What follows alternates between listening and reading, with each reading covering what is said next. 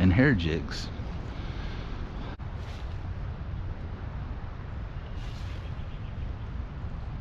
Nice little eater.